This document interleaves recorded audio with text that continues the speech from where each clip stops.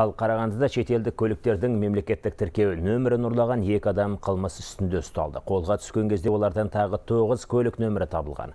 18 және 20 жастағы екі жігіт ұрлыққа таңғы сағат 5-тер шамасында шығып жүрген. Нөмірді алған соң әлеуметтік желі арқылы көлік қожайындарынан ақша бопсалаған. Қазір аталған дерек бойынша қылмыстық іс қозғалды. При досмотре Тінту барысында олардан 9 көліктің мемлекеттік тіркеу нөмірі табылды. Қазір ұсталғандар тағылған айыппен толық келісіп отыр. Тағы осыған ұқсас 30-ға жуық қылмыс жасағандарын да мойындады. Тергеу амалдары жалғасуда.